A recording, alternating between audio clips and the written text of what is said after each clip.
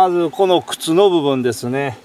まあ靴の部分から貼っていきたいと思います。下からまた上の方にですね、えー、ちょっとこの濃いめのですね、えー、苔をですね。貼り付けていきますけれども、まあ、このままではちょっとくっつきませんので、えー、昨日のこの白い釜土ですね。これをま練っていきます。これはまあ、えー、最初は硬いんですけどね。こうやって乾燥してる時はガチガチに固まってるんですけれども。水をまあ入れながらですね練っていくとまあ最初粘土状ですけれども。これをよく練るとですねまあペースト状になって海苔みたいになります。海苔状ですね。これをですね、えー、まあ、薄く表面に塗っていきます。そしてこの上にこの苔をですね貼り付けていく。苔を貼り付けていく。まあ左足の方だけですねちょっと貼ってみましたけれども、えー、こういう感じですね。まあ、かなりいりますね。今左足の靴だけで、えー、1コンテナ使いましたね。とちょっとバランスが太くなりすぎますからね。これかなり時間かかりますね。全身に。これ全部貼り付けるとなると針割らないかもしれないですね。こうやるとついていきますね。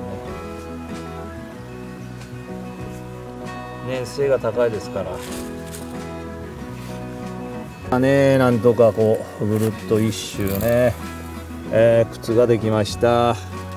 かなり、まあ、柔らかいですから、えー、下の方に落ちてこの今貼った靴の上に落ちてきますんでこれ上からいきます。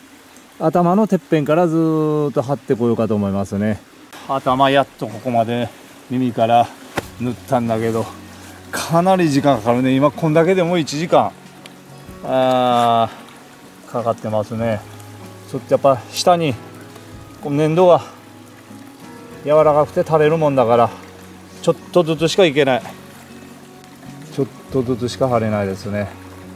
えー、はいビンタンを人ばっかり。縫い付けました。頭の後ろだけ貼り付けました今ね。これはちょっとまあ貼りやすいんじゃないかなと思いますねマット状になってますから。えー、タキシード。なんとかタキシードを着せることができましたこれね。えー、まあタキシードを着てるように見えるかな。これね、えー、ズボン履いてないですから今んとこ上着だけ着て。あと前の方とですね。あもう日が落ちてくるのにほら夜明けの方指さしてますね。このタキシードの部分ですか。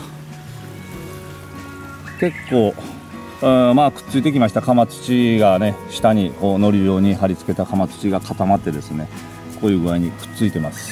また雨が降ってくれたらですね固まった後雨が降ってくれたらそんな、えー、流れ落ちることはありませんので程よくまた水分でですね粘着性が出てそしてまた乾燥したら固まってこれを繰り返しながらですねだんだん苔が活着していくと思いますね。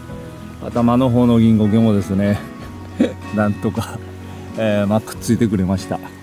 ズボンの方ですね。ズボンを履かせないとですねちょっとあこのままじゃですねおかしいですからね。まあケツ丸出しでズボンを履かしてあげましょう。今日はこのズボンの部分を苔を貼り付けをしたいと思いますなんとかこう貼り終わったんですけどねズボンの方もえいよいよ完成かなと思ってたんですけれどもあのここに突っ張り棒してたんですよね覚えてますかね以前の動画でこれが前に倒れてくるもんだから、えー、突っ張り棒をしててこ苔を張り終わったもんだから突っ張り棒を取ったら前に倒れてきましたね前に倒れてきて頭が重たいもんだから過分数で前に倒れてきてまあまあなんとかならんかと思ってですね、えー、ちょっと試行錯誤してですね、えー、傘？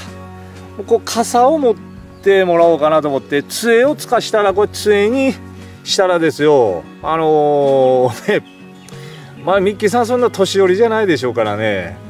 えー、ちょっと視聴者から 視聴者の方からミッキーさんはそんな年じゃないと怒られる可能性がありますから、えー、傘を持ってもらおうかなと思ってですね傘傘をちょっと突っ張り棒の代わりになんか傘を持ってるイメージで作れないかなと思ってこの、えー、竹ですね。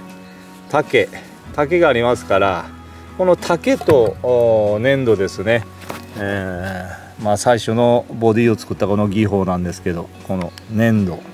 粘土とこの竹を使ってですね、えー、ちょっと傘のイメージで突っ張り棒を作ってみたいと思いますね。傘です。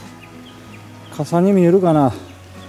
ちょっとね今、えー、竹と土でこう傘もう杖をミキさんにも出せるのあまりですからね、えー、傘傘のイメージですね、竹と土と苔を使ってですね、えー、今苔を貼り付けましたけどあとはこの周りをですねこの苔軽石ですね、えー、まあ、全て苔でやりたいですから、えー、この苔軽石を周りにちょっとセットして張り苔最終的に全面に苔を貼り付けたいと思います、えー、もうちょっとですね、え傘を持ってるような感じかな。